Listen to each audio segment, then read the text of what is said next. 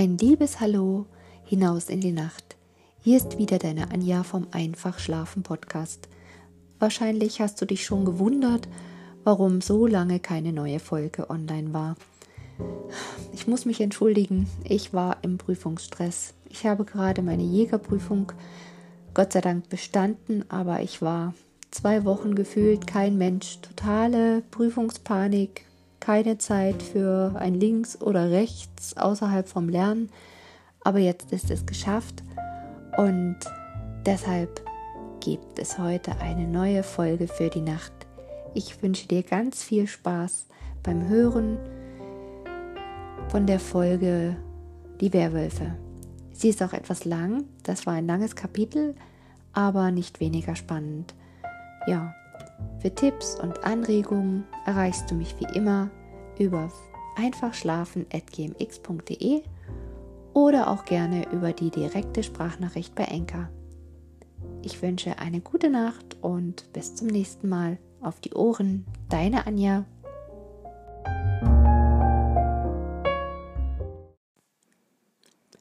Die Werwölfe.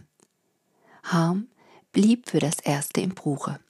Er hatte allen möglichen landfahrenden Leuten, soweit es nicht Raub und Mordgesindel war, von der vielen Beute, die er gemacht hatte, manchen Taler zukommen lassen, damit sie bei Drews in Engensen oder anderswo Nachricht hinterlassen sollten, wo er das heilige Kreuz und den Säugling antreffen konnte. Denn er hatte gesagt, er hätte ein Geschäft mit ihnen vor. Er besprach sich nun mit Uhlenvater über das Leben, das die Ödringer auf dem Perhopsberge führten. Das Schlimmste ist, sie lauern darauf, dass der Krieg aufhören soll, und solange behelfen sie sich mit Hungern und Nichtstun. Das ist verkehrt. Wir müssen so tun, als ob wir ewig und drei Tage hier bleiben wollen. Mit Reden richtet man aber nichts aus, und deshalb wollen wir beide uns ein regelrechtes Haus bauen und soweit es geht auch Land unter dem Flug nehmen. Du sollst sehen, einer nach dem anderen tritt dann in unsere Stapfen. Der Alte nickte. Da hast du völlig recht. Das habe ich mir auch schon gesagt. Denn wenn ich auch heute oder morgen sterben kann, sündhaft ist es darum doch, die Hände in den Schoß zu legen und unseren Herrgott den Tag abzustehlen. Und diese Örtlichkeit ist gar nicht so uneben. Selbst in Regenjahren kommt das Wasser hier nicht her, und der Boden ist gut, und wenn später ein Durchstich nach der Wieze gemacht wird und der Busch wegkommt, dann sollst du mal sehen, was hier nicht alles wächst. Es gab einen großen Aufstand auf dem Berg, als es hieß, der Wulfsbauer und Uhlenvater bauen sich ein festes Haus. Es waren aber kaum die Stände eingesetzt, da fing schon ein anderer an, es ihnen nachzutun, und es war schön anzusehen, wie gerade mit einem Male wieder die Männer gingen, welche blanken Augen die Frauen bekamen und wie auch die Kinder sich herausmachten, denn nun hatten sie doch wieder an etwas anderes zu denken als an ihr Unglück. Der Wulfsbauer sparte nicht. Er hatte Geld genug, und so holte er Zimmerleute und Tischler aus den Nachbardörfern heran, und als das Haus fertig war und weder die Pferdeköpfe an den Windbrettern noch der Spruch über der großen Türe fehlten, da sagten alle, es ist wirklich ein schönes Haus, alles was recht ist, wenn es auch mal halb so groß ist und nicht so bunt wie das alte Haus. Der Spruch aber, den Herrn Wulf in den Torbalken hatte einbauen lassen, hieß Hilf dir selber, so hilft dir unser Herre Gott. Das gefiel manch einem erst nicht so recht. Aber als dann der Wulfsbauer seine Hausrichte gab, wurden sie anderer Meinung. Alles war eingeladen, was im Bruche wohnte, und noch allerlei Freundschaft aus der Heide. Wulf hatte reichlich für Essen und Trinken gesorgt und auch für Musik, aber er hatte auch sagen lassen, jedweder sollte sich so fein machen wie sonst zum Burgdorfer Martinsmarkt. So sah es bunt und lustig vor dem Hause aus von roten Kleidern und weißen und blauen Röcken, und alle Gesichter waren voller Freude. Es war einer von den Tagen, an dem Sonne und Regen hintereinander her sind, wo aber die Sonne die meisten Trümpfe vorweisen kann ein frischer Wind ging, dass das Laub in den jungen Eichen rauschte und die Fuhren und Tannen nur so brummten und die Kränze aus Hülsen und die langen Ketten aus Tannhecke hin und her flogen. Die weißen Bänder daran wehten und die bunten Eierschalen klingelten und plapperten, dass die Kinder vor Vergnügen nicht wussten, wo sie sich bergen sollten. Als alle da waren, kam Uhlenvater aus der großen Türe und hinter ihm der Bauer. Er hatte sich seinen Bart abgenommen und trug den blauen, rot ausgeschlagenen Rock mit den blanken Talerknöpfen. Die großen Kinder stellten sich zusammen, Fiedelfritze aus Mellendorf gab den Ton an, und hell klang das Lied Großer Gott, wir loben dich. Alle Männer nahmen die Hüte ab und sangen mit, und die Frauen auch, und da war nicht einer, dem das Wasser nicht in die Augen kam. Dann stellte sich Uhlenvater von hin und sprach Alle, die wir hier versammelt sind, Mannsleut und Frauen, Knecht, Magd und Kind, Boshaftigkeit und Niedertracht haben uns von Haus und Hof gebracht.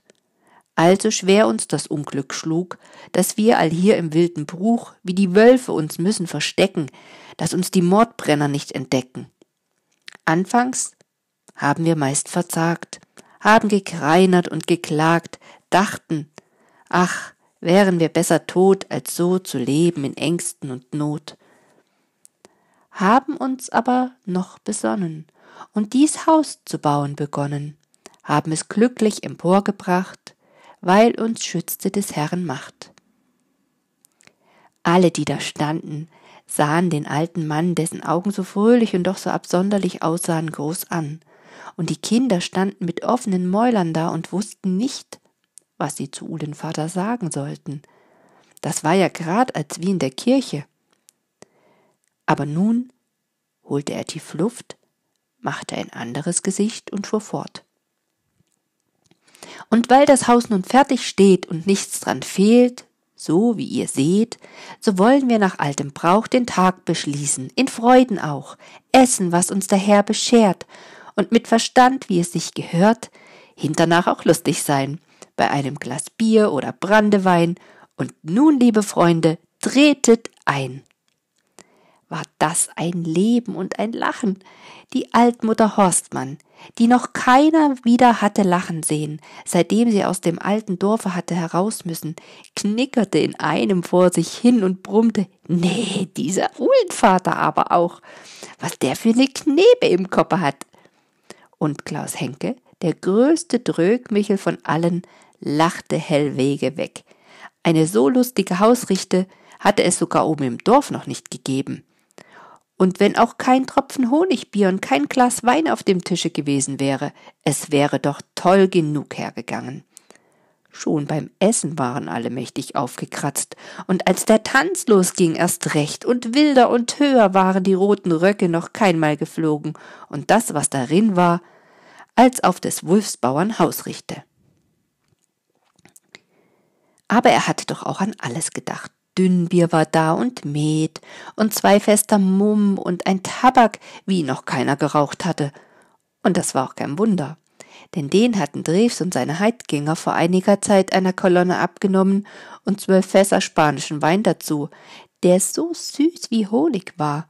Und davon bekamen die ganz alten Männer und Frauen jeder ein oder zwei Glas zur Herzstärkung. Ich bin nun all im neunzigsten Jahr oder so herum, sagte der Hausmann vom Bollenhofe. Aber so gut ist es mir noch keinen Tag in meinem Leben nicht gegangen. Und dabei nickte er ganz glücklich seinen Urenkeln zu, die alle Backen voll von den süßen Rosinenbrote hatten, das für die liederlichen Weibsleut bestimmt war, die die waldsteinschen Offiziere mit sich herumschleppten. Sogar Drew sah anders aus als die Zeit vorher. Er stand zwischen seinen beiden Töchtern, dem großen, breiten Lieschen, die mit ihrem Manne den Hof bewirtschaftete, und dem schlanken Wieschen, die kein Auge von dem Wulfsbauern ließ und nicht mittanzen wollte, weil sie, wie sie sagte, nicht so gut zu Wege war. Aber dabei sah sie aus wie eine Rose im Morgentau und hatte Augen so blau wie der liebe Himmel. Und wenn sie lachte, so war das, als wenn die Märzendrossel anzuschlagen fangen will. Nee, Wulfsbauer, sagte sie, als er sie fragte, warum sie nicht auch tanzte. Nee, danach ist mir heute nicht ums Herz. Ich kann mich gar nicht satt genug sehen, wie lustig die Ödringer sind nach all dem, was sie ausgestanden haben. Hör bloß, was sie singen. Damit hast du dir einen Gotteslohn verdient. Bis zehn dauerte der Tanz, aber er hielt noch lange vor. Von da ab hörte man die Männer wieder flöten und die Mädchen sangen bei der Arbeit. Und wenn es auch Arbeit für Mannsleute war, die sie tun mussten, denn Wulf hatte es den Leuten klar gemacht, dass es nun erstens nötig wäre, die Burg so zu befestigen, dass dreihundert Mann sie nicht stürmen konnten und dass das, was im Herbst vergessen war, jetzt gemacht werden musste. So wurde der Burggraben tiefer und der Wall höher gemacht, und sowohl die Grabensohle wie die Wallwand wurden dicht an dicht, so mit langen spitzen Pfählen besetzt, dass kaum eine Katze, geschweige denn ein Mensch, durch konnte. Zudem wurde rings um den Wall ein Verhau aus Dornenbüschen gemacht, so hoch und so dicht, dass selbst der Teufel und seine Großmutter nicht darüber weg konnten. Rund um die Burg waren alle anzuwegen, Wolfsangeln in die Bäume geschnitten, und das bedeutete, wahr dich, denn vor dir ist ein Loch, und wenn du da hineinfällst, bist du des Todes. Dazu kam noch, dass die beiden Fahrwege jeder viermal mit Schlagbäumen versperrt wurden.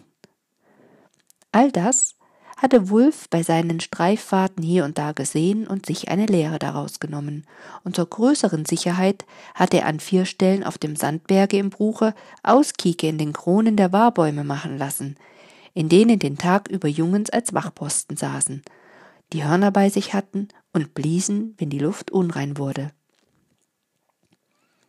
Es dauerte nicht lange, und alles, was kein reines Hemd anhatte, machte einen Bogen um das Bruch, denn es hatte sich herumgesprochen, dass es da nicht geheuer war. Ab und zu sah man Männer mit schwarzen Gesichtern in dem Busche, und an mehreren Stellen waren zwei Fuhrenbäume kahl gemacht und ein dritter darüber genagelt, und zuallermeist hing ein Mann mit seinem Halse daran, oder zwei oder drei, und kein Mensch wusste, wer es war und wer sie gerichtet hatte ausgenommen die Bauern in der Runde. Und wenn der Wind die Galgenfrüchte hin und her wehte, lachten sie und sagten, die Bruchglocken läuten heut aber fein. Dieweil der Winter milde war, konnte allerlei Arbeit getan werden. Die Bauern rodeten den Busch auf dem Perhopsberge, teilten das Land ein und verlosten es, zogen Gräben und Wälle um die Weidekoppeln holten die großen Steine aus der Heide und brachen den Ort im Bruche, damit sie Grundmauern und feste Wände machen konnten. Als der Hornung zu Ende war, sah es auf dem Perhopsberge schon anders aus als im Herbste, zumal es an Nahrung nicht gebrach.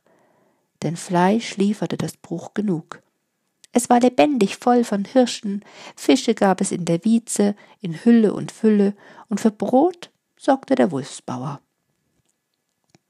Er hatte aus dreißig jungen Kerlen eine Schleichtruppe zusammengestellt und einen Kundschafterdienst in die Reihe gebracht. Wurde nun gemeldet, hier kommt ein Proviantzug oder da sind Marketender, so dauerte es nicht lange und es knallte, und dreißig Männer mit schwarzen Gesichtern lachten lautheitslos und sagten Nun kann Mutter wieder Brot schneiden, ohne dass sie so Niebe zusehen braucht. Ficken Ludloff aus Ramlingen Windhund bei allem, was einen roten Rock anhatte, und der wildeste Tänzer beim Erntebier oder wo sonst sich eine Fiedel hören ließ, und ein Kerl, der überall gern dabei war, wo man sich umsonst zur Ader lassen konnte, der hatte, als sie Ende März drei Markentenderwagen des kaiserlichen Heeres zur Seite gebracht hatten, im Kruge zu Obershauen gesagt, wir, haben nun ein so schönes Kind aus den Windeln heraus. Aber einen Namen hat es noch nicht. Unser Hauptmann, der heißt Wulf. Und ein richtiger Wolf ist es auch, denn wo er zubeißt, da gibt es 33 Löcher. Denn so bin ich der Meinung, dass wir uns die Werwölfe nennen und zum Zeichen, wo wir der Niedertracht gewährt haben, drei Beilhiebe hinterlassen, einen hin, einen her und den dritten in die Quer. Und davon soll keiner was wissen als wir dreimal Elfe. So sich nennen die Wölfe. Und wer darüber das Maul aufmacht, der soll zwischen zwei räudigen Hunden mit der Wiede um den Hals so lange hängen, bis man nicht mehr wissen tut, wer am meisten stinkt. Das ist ein Wort, das hat den Kopf vorne und den Stert achtern, wo es sich gehört, sprach der Hauptmann. Und was unser Wolfsbruder da so hingesagt hat, als wenn das bloß ein Spaß ist, als wie er einem beim Biere aus dem Maule rutscht, es ist Verstand darin und Einsicht. So wie wir hier sind, dreimal elf Mann, kann uns der leibhaftige Gott sei bei uns selber nicht bange machen. Und wenn er jetzt mitten unter uns zu stehen kommt, denn was will er uns machen, uns ledigen Leuten, von denen keiner Kind und Kegel hat? Fiegen Ludloff vielleicht ausgenommen, der ja Hahn bei allen Hühnern sein soll. Sie lachten alle. Wie die Buchholzer Hengste bloß Fiegen Ludloff nicht, denn der kratzte sich hinter den Ohren. Als es dann wieder still war, ging Wulf weiter. So, müssen wir uns für die Eheleute und die Witwenfrauen und die alten Leute und die Waisen aufnehmen. Aber dazu müssen wir unser Meer sein, müssen es auf hundert Mann und darüber bringen, alles Kerle wie wir, die noch lachen können, wenn ihnen ein Stück Hackblei nicht aus dem Wege gehen will. So soll sich denn ein jeder einen bis zwei oder drei gute Freunde suchen, und die sollen mithelfen, wenn es Not tut, es sollen aber alles Junggesellen sein, und keiner einer, der einziger Sohn einer Witfrau ist, soll dabei sein. Und wenn einer ein Mädchen mit einem Kinde sitzen hat, der soll sich zuvor bedenken, ehe er sich mit uns einlässt. Wenn so einen aber Unglück hat, so soll es unser erstes sein, dass das Frauenmensch und das Kind nicht Not und Mangel leiden. Und an jetzt wollen wir uns verbrüdern auf Not und Tod Gut und Blut, dass alle für einen stehen und einer für alle. Aber was wir alle für alles, was um und im Buche leben tut und unsere Art ist. Der Wirtssohn, der einer von den dreimal Elfen war, musste das große Glas holen. Das Bier wurde beiseite beschoben, und edler Wein, der auf der Landstraße zwischen Burgdorf und Zelle für umsonst gewachsen war, kam auf den Tisch. Sie standen alle auf, hakten die Arme ineinander, dass es einen engen Kreis gab, und Harm nahm das Glas, trank, gab es Fieken Ludloff, und so ging es reihum, bis es leer war. Dann sang Grönhagen Grischan aus Hammerbüren, der stillste von allen, aber ein Mann, trotz seiner zwanzig Jahre, den Werwolfsvers vor, der ihm just beigefallen war, und der Hauptmann legte einen weißen Stock auf den Tisch, sein langes Messer und eine Wiede und sprach So der Stock bricht, so das Metz sticht oder die Wiede wird zugericht. Sie wählten darauf Fieken Ludloff als zweites Hauptmachtens fest, wo und wann sie sich regelmäßig treffen wollten und auf welche Weise der eine dem anderen Nachricht geben sollte, ohne dass dem Boten alles aufgedeckt zu werden brauchte. Und dann gingen sie auseinander. Der Peer Hopstler blieb noch eine Weile mit dem Wirtssohn sitzen, denn er hatte eine Botschaft aus Wietze bekommen und die Leute, die er suchte, sich im Altenz hatten blicken lassen. Er hatte vor Arbeit und Geschäften manchen Tag nicht mehr an sie gedacht. Jetzt aber standen sie ihm wieder alle Stunden vor den Augen, und er hatte sich vorgenommen, nicht eher locker zu lassen, bis er ihnen ihren verdienten Lohn bei Heller und Pfennig ausgezahlt hatte. So ritt er denn, als am anderen Mittag Tedel mit Krypto ankam, los. Der Hund hatte er in den letzten Zeit meist immer bei sich, denn es hatte sich herausgebracht, dass der eine Hauptnase hatte, und zwischen hundert Mann den herausfand, auf dessen Fährte er ihn legte. Ohne Hund hätte er den Zigeuner, der mit sechs Stehldieben die Gegend unsicher machte, nicht in der Erdhöhle im Biesendorfer Holze aufgespürt und zur Warnung aller unehrlichen Leute samt seinen Spießgesellen vor dem Dorfe an die Birkenbäume hängen können. Ohne ihn wäre er beinahe den Machenschaften des Tilly in die Finger gefallen, die hinter ihm her waren, als er wieder einmal den Brotkorb höher gehängt und den Bierkrug vor dem Maule aus der Hand geschlagen hatte. Es war einer von den Vorjahrestagen, an denen der Morgennebel sich, solange er es eben kann, vor die Sonne stellt. So wurde es meist elfe, ehe die Sonne ihn unter die Füße bekam, aber dann wurde es umso schöner. so dass sogar Tedel, der sonst ganz und gar bei der Arbeit war, alles mit Augen sah, was auf dem Boden lebte und in den Lüften webte, und auf dem Bauern war nicht anders zumute. Junge, das ist ein Tag, bei dem hat sich unser Herrgott aber mächtig viel Mühe gegeben. Wenn es sich irgend machen lässt, denn so möchte ich heute den Finger nicht gern krumm machen, und ich glaube, du würdest auch lieber sehen, ob du Elas Seele nicht im Schumann irgendwo antreffen könntest, wo euch keiner in die Nöte kommt. Thetel ritt vor ihm hin und hatte die Sonne im Gesicht, und seine Ohren sahen mit einem Male aus wie zwei Klapprosen. Er sagte nichts, gab aber einen Seufzer vor sich, der so lang und so dick wie ein Pferdeschwanz war, so dass Ham herzlich lachen musste. Na, sagte er, denn er sah, dass der Knecht ein Gesicht machte wie ein Zaunigel, wenn ihn der Hund anbellt. Was nicht ist, kann noch werden. Vorläufig haben wir noch andere Arbeit vor, und erst die Arbeit, dann das Vergnügen, sagt Wiegendudloff. Da schlug der Kassenkrischan drei Zähne in den Hals und ging mit seinem Danzeschatz in den Grasgarten. Aber wenn zwei gewisse Leute das Fliegen gelernt haben, ohne dass sie gerade heilige Engel geworden sind, dann, Nihustetel, sollst du ein Haus zu eigen haben mit einem großmächtigen Bett und einer glatten Frau darin, wenn du willst. Und es soll mich nicht wundern, wenn sie vorne Hille und hinten Elas heißt. Arme wie ein paar Fuhrenbäume und Haare wie das Gras da hat, wo die Sonne so aufliegt. Er hielt den Schecken an, der mit der Zeit vergessen hatte, dass er ein Rappe sein sollte. Was hat denn der Hund da? Der steht ja, als wenn da ein Mensch ist denn für umsonst hält er den Kopf nicht so dumm und stellt sich auf drei Beine. Wollen doch mal zusehen. Er ritt langsam hin und fragte dann, stimmt, ganz wie ich sagte, ein Mensch, ein Frauenzimmer. Anscheinend, das barfuß geht. Aber kein Katternweibstück, denn die großen Zehen stehen einwärts. Aber jung ist sie und groß ist sie und mager. Und Angst hat sie gehabt. Sie kann dazu auch krank sein.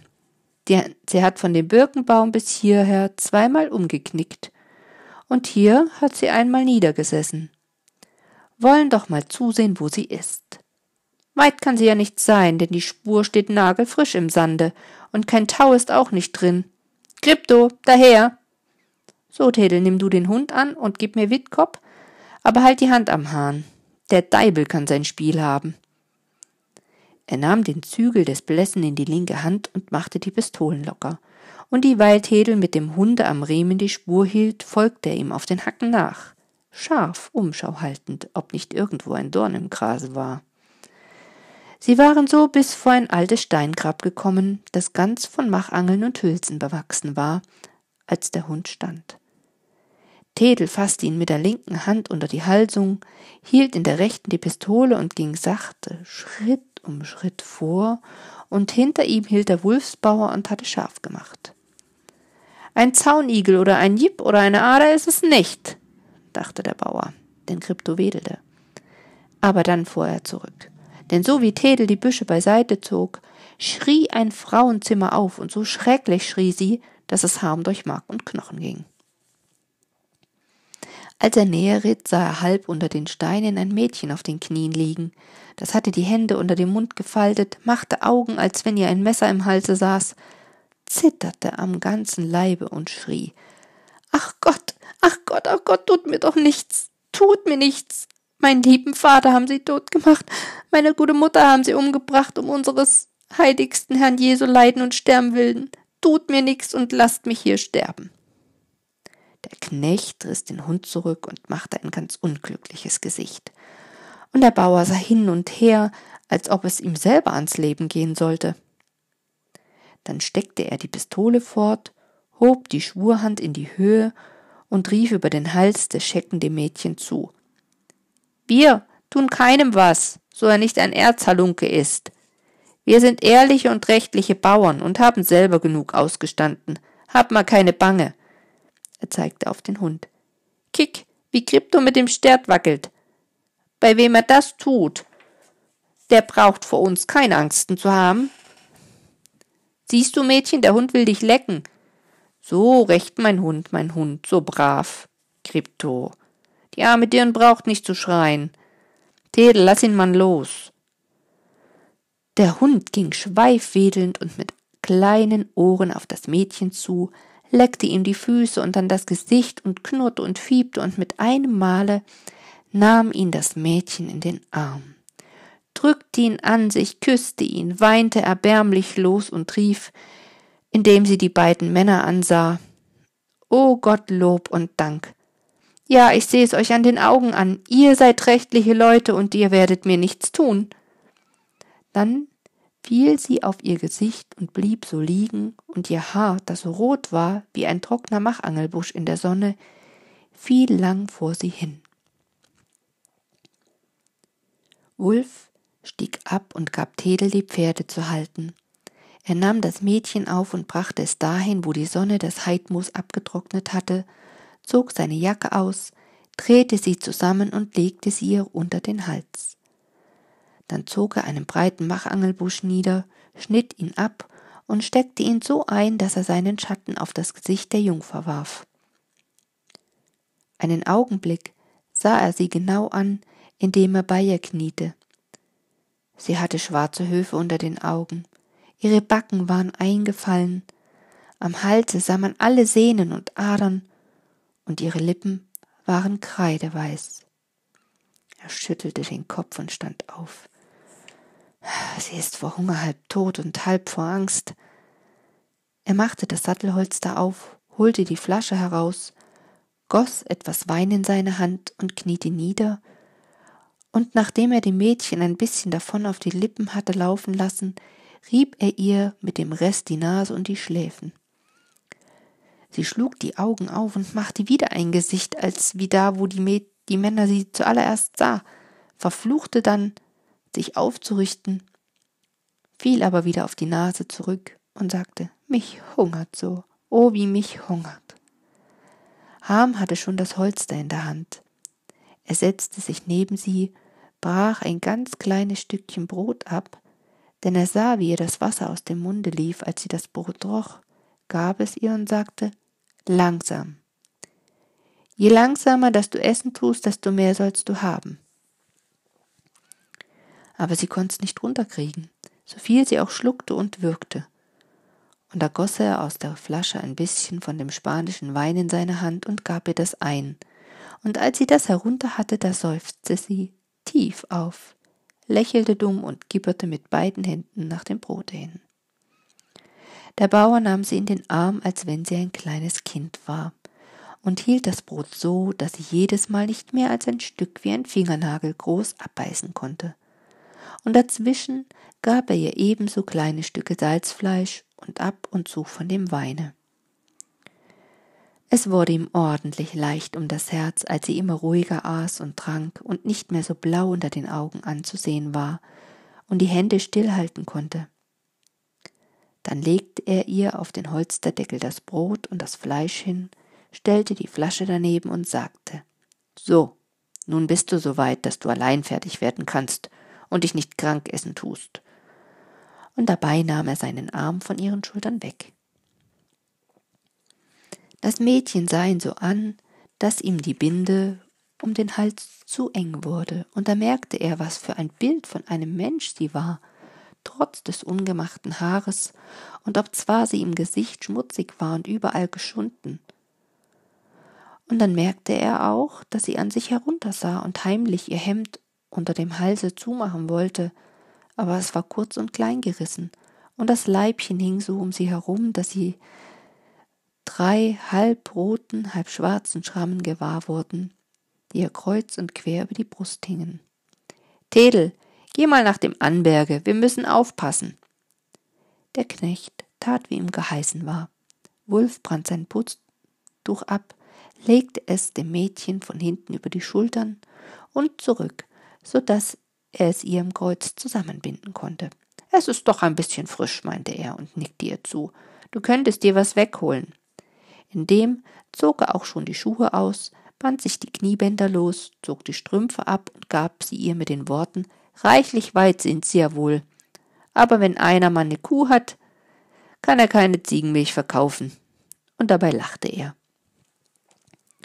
Aber er bekam einen Kopf für ein Legehuhn und ihm wurde, als wenn er auf einen Ameisenhaufen zu sitzen gekommen war, als sie ihn groß ansah, die Hände faltete, die Augen überlaufen ließ und mit einem Male seine Hand zu fassen kriegte, sich bückte und ihm die Hand küsste, dass sie nass von ihren Tränen wurde. Fast grob stieß er sie zurück und sagte, Bist du auch satt? Wir haben doch genug und die Katz soll uns den Magen schon nicht hinter den Stachelbeeren schleppen. Aber nun wollen wir zusehen, dass wir irgendwo Wasser zu finden kriegen, denn ein Spiegelglas pflege ich nicht bei mir zu haben. Wogegen ich ein Stück Band habe, dass du dir das Haar ein bisschen machen kannst. Er machte einen langen Hals. Da unten sind Ellern und wo die sind, ist eine Beke. Und wo eine Beke ist, pflegt Wasser zu sein. Denn so wollen wir los. Er nahm sie auf den Arm und ging mit ihr nach dem Grund. Wie leicht sie bloß ist, dachte er, und dann wurde ihm sonderbar zu Sinne, denn ihr Atem ging ihm über den Mund und ihr Haar roch, dass ihm die Brust eng wurde. Und zudem fühlte er, wie ihr Herz schnell gegen das seine schlug, und das wurde davon angesteckt. So war er heilfroh, als er sie bei der Beke absetzen konnte, aber ehe er sie für sich ließ, brach er einen Ellernzweig ab, nahm ihr am Fuße Maß und sagte lachend, Jetzo muss ich mich an das Schustern begeben, und wenn du wieder in der Reihe bist, denn so kannst du dich ja melden. Tedel wusste nicht, was er sagen sollte, als der Bauer ihn anwies, zieh die Stiefel aus. Aber er machte ganz krumme Augen, als Wulf das Messer nahm und die Krempen Tedels größter Stolz abschnitt. Und erst, als er sie aufschnitt und Löcher hinzu hineinstach und eine Strippe durchzog, wusste er, was das zu bedeuten hatte, und da sagte er Erst wollte ich meist falsch werden, denn ich dachte, du wolltest mir einen Schabernack vor die Tür stellen. Das Mädchen hätte beinahe gelacht, als Wulf ihr die Strippenschuhe gab, aber sie nahm sie gern, denn sie ging in den Strümpfen auf der Heide wie die Katze über die nasse Dele. Alles in Ordnung? fragte der Bauer sie, und als sie nickte, nahm er sie um, hob sie auf den Schecken und setzte sich hinter sie. Tedel, reit von weg, rief er, denn ich kann meine Augen so nicht recht brauchen. Der Himmel hatte sich noch mehr aufgehellt, die Dullerchen sangen aus ihm heraus, die Moormännchen stiegen auf, zwitscherten und ließen sich nieder. Der Post war am Aufbrechen, hier und da steckte sich ein Weidenbuschgelb an. Harm ließ den Schecken Schritt gehen, denn, sagte er, da haben wir doch einmal Aufenthalt gehabt, soll es uns auf die Zeit nun auch nicht mehr ankommen. Ihm war leicht ums Herz. Er dachte, es war, weil er ein armseliges Menschenkind geborgen hatte, aber wenn er ihr Haar roch und ihr Herz schlagen hörte und ihre Backe ansah, so mager, so blass und doch so schön, und das kleine, feine Ohr, das die roten Locken ab und zu frei ließen, und den dünnen, weißen Hals, der aus dem roten Tuche herauskam, und ihre Hand, die auf seinen Schenkeln lag, und wenn er fühlte, wie ihr linker Arm um seinen Leib war, dann wusste er nicht, ist das nun schön oder ist das scheußlich?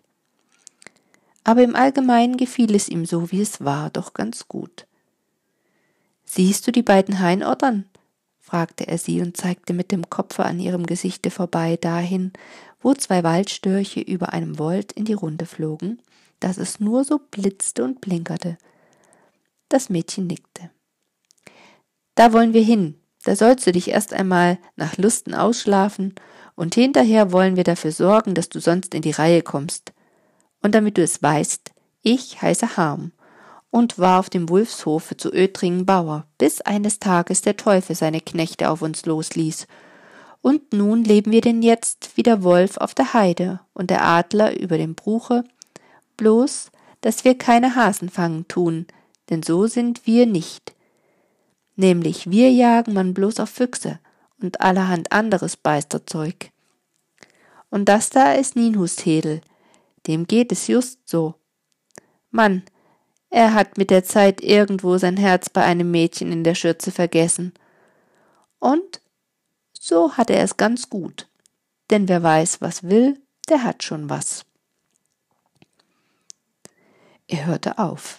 denn er wunderte sich, wie es dazu kam, diesem Mädchen, das er gar nicht kannte und von dem er nicht wusste, woher sie war und was mit ihr los war, seine halben Trümpfe zu weisen. Aber dann merkte er, dass seine Zunge von selber Galopp ritt. Wie heißt du denn? fragte er, und als sie sagte Johanna, meinte er, und was willst du jetzt anfangen?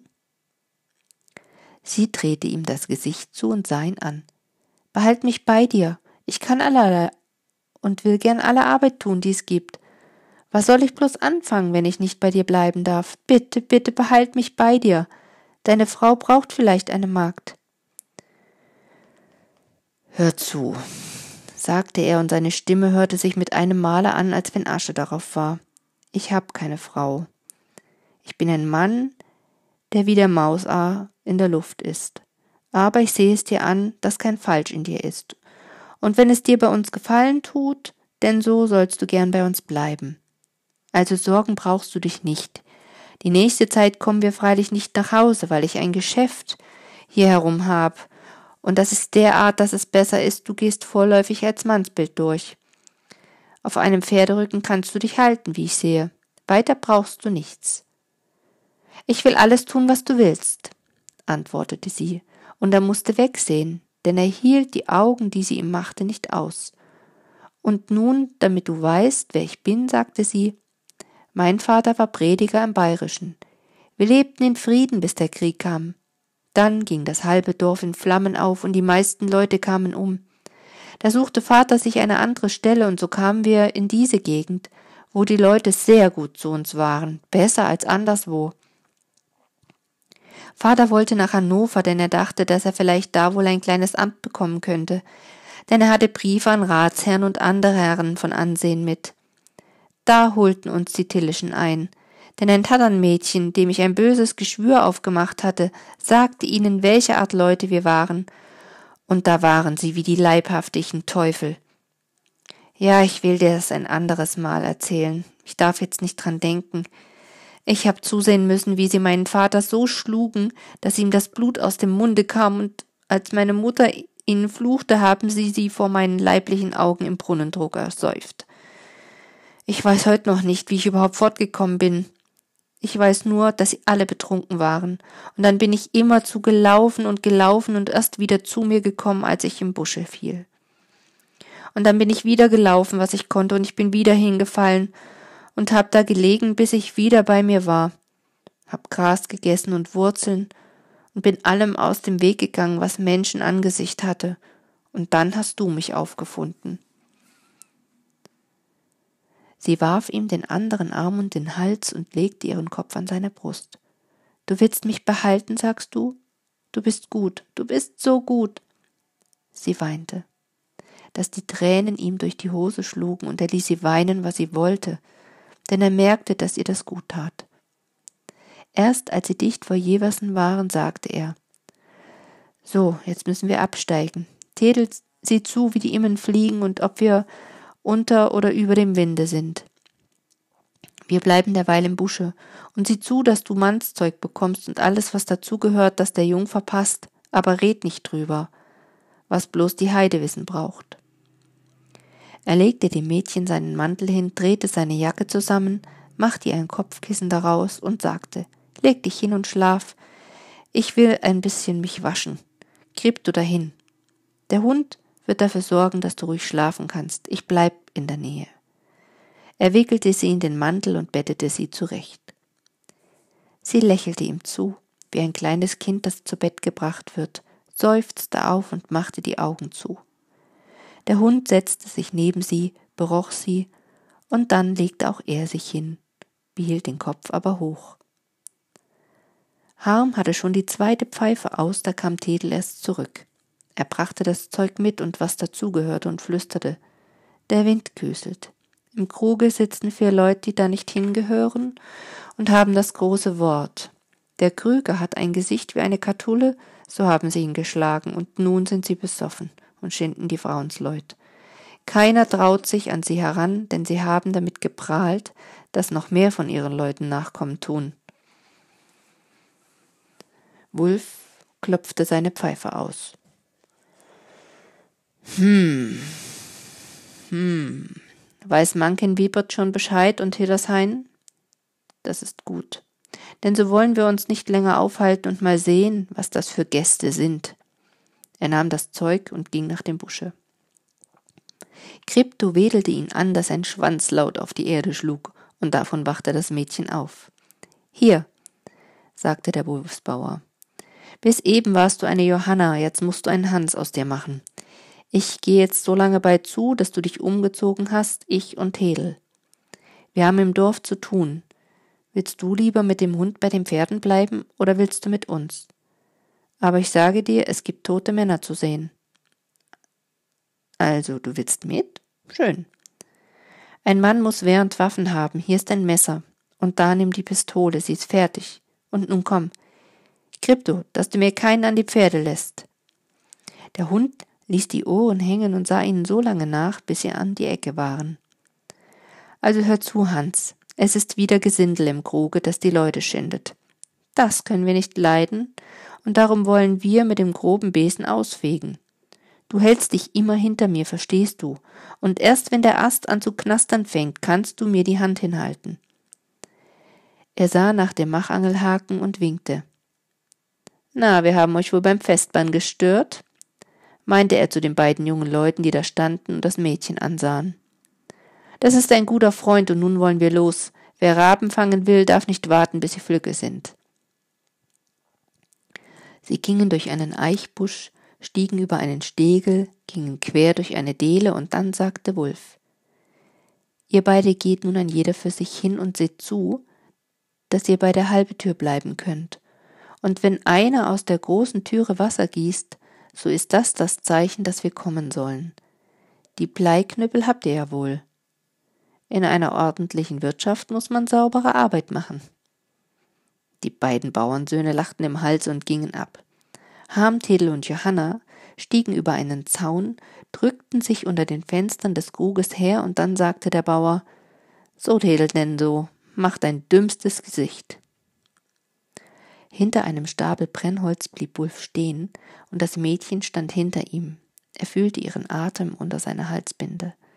Aus dem Kruge kam ein rohes Lachen und dann quietschte ein Frauenzimmer. Harm fühlte, wie das Mädchen hinter ihm am ganzen Leibe flog. Er drehte den Kopf nach ihr. Hast du Bange? flüsterte er. Bange nicht, aber was anderes, sagte sie, und er nickte ihr zu. In demselben Augenblicke goss die Wirtin einen Eimer Wasser aus der großen Türe. Komm, flüsterte Wolf, pfiff erst das Brummelbärlied und ging dann laut lachend in das Haus, wo ein Kerl am Feuer saß und die jüngste Tochter ein Kind von zwölf Jahren in den Klauen hatte, indes ein anderer die Magd hin und her zog. Die beiden anderen, die schon gehörig einen Sitzen hatten, standen da und tranken. Na, das geht hier ja mächtig lustig zu, rief der Oetringer laut. Nahm zusammen und in dem schlug er den Kerl, der vor dem Feuer saß, mit dem kurzen Bleiknüppel, den er aus dem linken Ärmel holte, über den Kopf, dass der Mensch tot auf die Brandruten fiel, und kaum, dass er da lag, klappte der um, der die Magd im Arme hielt. Denn Wahne wegen Wippert hatte ihn gut bedient. Die beiden anderen Reiter machten dumme Gesichter, aber ehe sie recht begriffen hatten, was los war, lagen sie über Kreuz da, denn Wulf hatte den einen besorgt und Hilpershain den anderen. So, nun sind wir unter uns. Jetzt gebe ich einen aus, lachte der Wulfsbauer, als das Flett sauber war, und dann fragte er das Mädchen leise Du hast wohl Angst vor uns gekriegt. Sie sah ihn mit blanken Augen an und schüttelte den Kopf. Na, dann wollen wir vespern. Und darauf werden wir das Schlafen nötig haben. Vorzüglich du, wo du dazu in der letzten Zeit nicht gekommen bist. Hast auch Platz für uns drei, Kordes Kurt? Der Wirt nickte. Masse, das heißt, Tedel kann bei unserem Knecht schlafen und ihr beide nehmt die Gästebutze. Als Harm mit dem Mädchen allein war, sagte er, so nun leg dich mal hin, Hans, ausziehen brauchst du dich nicht viel, denn wir müssen früh los. Du kannst ruhig schlafen. Ein ganzes Dorf wacht über uns. Wer wir sind, wirst du nun ja gewahr geworden sein. An unseren Händen ist kein Blut, höchstens an unseren Bleistöcken, aber das ist auch nicht viel wert. Einen Schelm muss man wie einen Schelm begrüßen, und die Wespen kriegt man am besten durch kochliches Wasser aus dem Grasgarten. Johanna hatte sich kaum lang gemacht, da schlief sie schon. Der Wulfsbauer konnte anfangs gar nicht schlafen, denn er mochte sich nicht rühren, um das Mädchen nicht aufzuwecken. Allerlei Gedanken gingen ihm durch den Kopf, aber zuletzt fielen ihm die Augen doch zu. Und er schlief, bis die Wirtin hereinkam und sagte, es ist bei fünfe und der Morgen ist fertig. Damit ging sie fort und ließ den Grüsel auf den Schemel stehen. Harm stand leise auf und leuchtete hinter der Hand in die Butze hinein. Schade, sie schläft just so schön. Aber da seufzte das Mädchen tief auf, hob die Hände in die Höhe, machte die Augen auf, und als sie den Bauern vor sich sah, flüsterte sie Ach so, du bist es. Und dabei lachte sie ihn an. Ja, nun musst du aufstehen. Bleib noch einen Augenblick liegen, ich hol dir erst eine Schüssel Suppe und Waschwasser, und unterdessen besorge ich dir ein Pferd, denn wir wollen flott reiten. Als es eben hellichter Tag war, waren sie bei einem einstelligen Hofe. Hier bleiben wir bis Mittag, sagte Ham. Sag mal, Hans Freund, du reitest ja wie ein Koppelknecht. Johanna lachte. Pastorenkinder lernen alles außer fromm sein, sagte sie, und schießen kann ich auch nicht schlecht. Aber ich verstehe mich auch aufs Kochen und Strümpfe stricken. Ulf lachte. Das muss ich sagen, dann kannst du mehr als wie ich. Und da lachte sie noch einmal und er dachte bei sich, wenn sie noch öfter so lacht, dann wird die Geschichte sängerig für mich. Botzhorn hieß der Hof, der Bauer sprach kaum ein Wort und die Bäuerin auch nicht viel mehr. Sie ließen es aber an nichts fehlen. Um Uhren neune kam der Bauernsohn an und teilte Wulf etwas unter vier Augen mit, und da sagte Harm zu Johanna, nun müssen wir doch bis morgen bleiben. Das Beste ist, du legst dich wieder schlafen, und das will ich auch tun. Wer schlau ist, der isst und schläft heutzutage im Voraus. Du kannst auch mit der Bäuerin ganz offen reden, sie weiß Bescheid. Sie hat ein Herz wie Gold, aber sie hat Schreckliches durchgemacht, deshalb spricht sie nicht, und darum hat sie auch das Lachen verlernt. Es war bei zwölf Uhr, da machte das Mädchen auf. Die Bäuerin stand vor ihr und sagte Wenn du lieber liegen bleiben willst, dann bring ich dir das Essen ins Bett. Johanna schüttelte den Kopf. Nein, dann müsste ich mich ja schämen. Ich will aufstehen. Die Frau lächelte. Willst du auch lieber Mädchenzeug anziehen? Es ist fast da, das dir passen wird. Hier im Haus sind lauter Leute, die nicht mehr reden, als sie sollen. Morgen kannst du wieder als Koppelknecht gehen.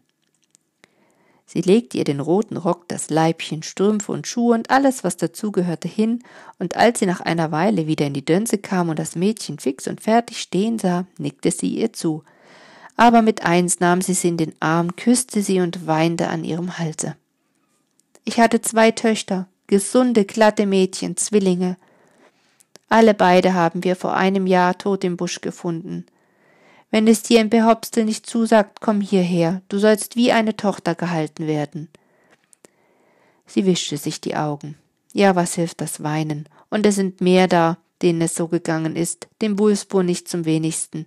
Ich will dir das erzählen, denn einmal musst es doch gewahr werden. Das Mädchen hörte zu und holte kaum Luft, solange die Frau sprach aber die Tränen liefen ihr über die Backen. Ja, sagte der Bauer, der auch in der Dönse angekommen war, den Wulfsbauern hättest du früher sehen sollen. Bei dem war jeder Tag Feiertag. Und jetzt, da ist er wie der Grauhund, der über die Heide läuft und erst zufrieden ist, wenn er Blut lecken kann.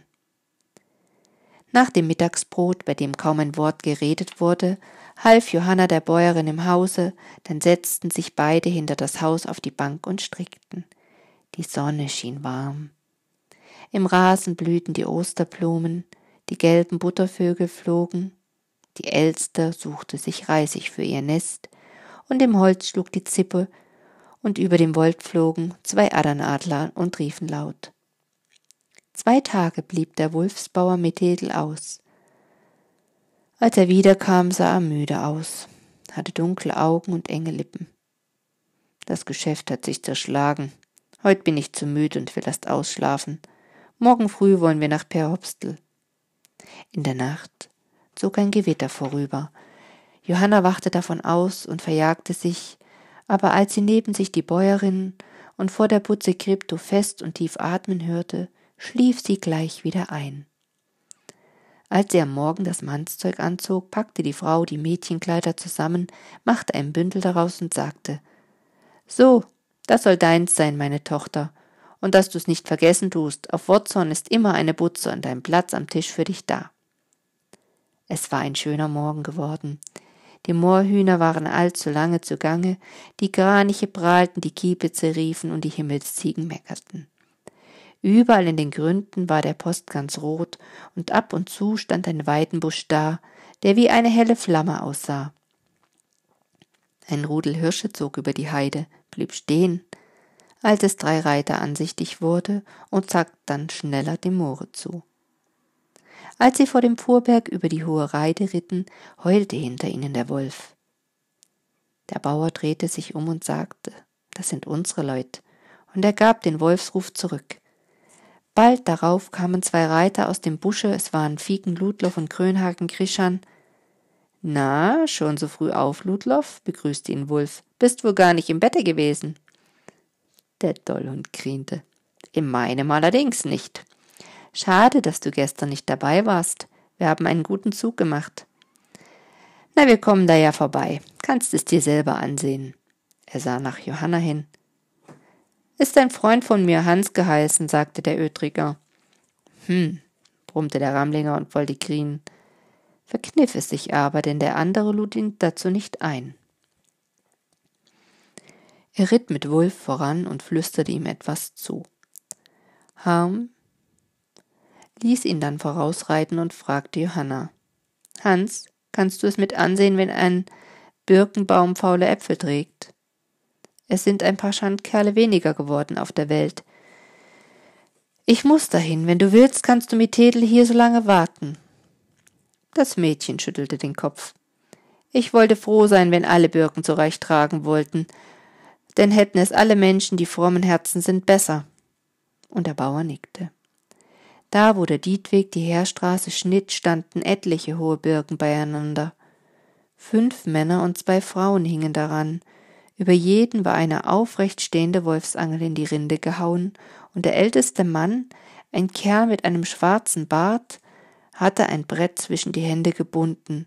Mit Röte waren darauf folgende Worte geschrieben.